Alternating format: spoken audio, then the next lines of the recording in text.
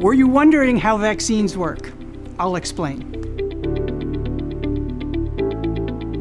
My name is Ann Palmenberg, and I'm a professor of biochemistry and molecular virology at the University of Wisconsin Madison. My job is basically to do research on viruses of all different kinds so that we can help make vaccines and antivirals that will cure diseases caused by viruses.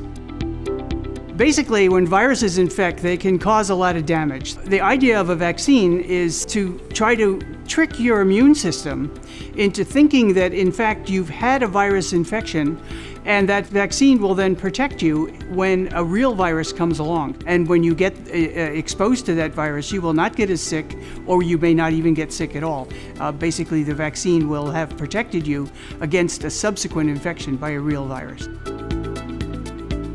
There are thousands, literally, of different kinds of viruses. So each one of those viruses has different physical characteristics, different shapes, different proteins on the outside.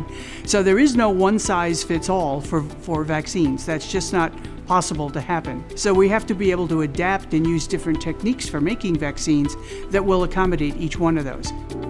The common methods for making vaccines are we can either take a virus, we take that live virus and inactivate it so that it's no longer able to infect. So it looks like a virus, it's shaped like a virus, but it's dead.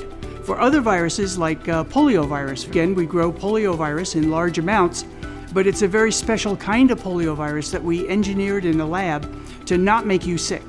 So it's a live virus vaccine that behaves to your immune system as if it was the real one. And when you finally see the real wild type polio, your immune system knows how to respond because we vaccinated you basically with a trick virus as opposed to the real one.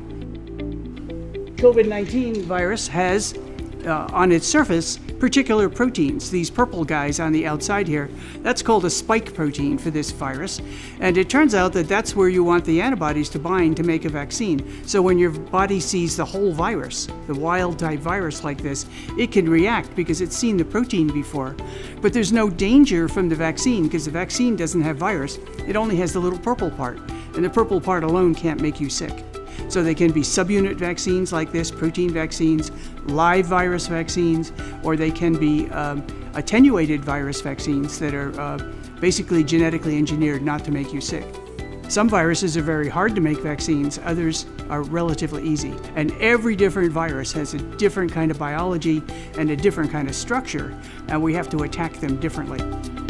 We spend our lives developing these things for the common good. There are many, many reputable scientific sources online. Probably half of the virology staff at the CDC are Wisconsin trained.